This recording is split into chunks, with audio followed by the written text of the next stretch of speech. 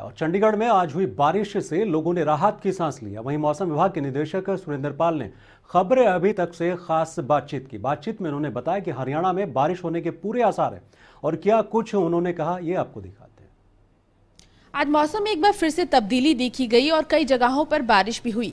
कैसे रहेगा आगे का तापमान और कैसा रहेगा मौसम का मिजाज? ये जानने के लिए हमारे साथ मौजूद है मौसम विभाग के निदेशक सुरेंद्र पॉल सर। आ, सर किस तरह का मौसम रहने वाला है और आज की जो बारिश हुई है कितनी एम बारिश जो है सर दर्ज की गई है? अगर उत्तर भारत की बात करें तो। देखिए लाइट टू मॉडरेट बारिश हुई है आठ मिलीमीटर के आसपास बारिश हुई है यहाँ पे।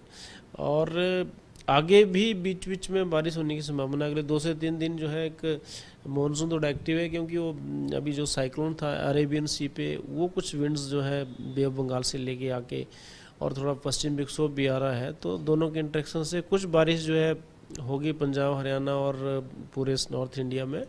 इंटेंसिटी भी कुछ बढ़ेगी, क्योंकि ये इंट्रैक्शन है इंट्रैक्शन से है कि मानसून भी थोड़ा इन्हांस हो जाता है और रेनफॉल एक्टिविटी थोड़ी बढ़ जाती है। तो अगले दो से तीन दिन, सत्ताईस, अट्ठाईस और उनतीस में मौसम ख़राब रहेगा बीच बीच में और हल्की सी दरमियाना बारिश भी होगी। कुछ जो पंजाब के नॉर्थ पंजाब है, वहाँ हो सकता है कि रेनफॉल थोड़ी सी ज़्यादा हो, चार से पाँच सेंटीमीटर के बीच में। लेकिन ओवरऑल जो है बहुत हैवी बारिश की संभावना तो नहीं है, लेकिन बारिश ज़रूर होगी। बारिश में बढ़ोतरी जो है, हरियाणा में कल से होगी और पंजाब में आज से शुरू हो जाएगा। पिछले साल से मानसून भी अच्छा है। हरियाणा की बात करते हैं, वहाँ थोड़ा डेफिसिट है, वहाँ कुछ काफ़ी ज़िलों में रेनफॉल डेफिसिट है, लेकिन अगर पंजाब की बात करते हैं चंडीगढ़ की बात करते हैं तो रेनफॉल पिछले साल से बेहतर है। तो बिल्कुल तापमान अभी ऐसे रहने वाला है। दो तीन दिनों तक बारिशें जो है लगातार अलग अलग रीजन्स में होती रहेंगी और तापमान भी जो है सामान्य बने रहेंगे। ना ज़्यादा गर्मी होगी, ना ज़्यादा ठंड होगी।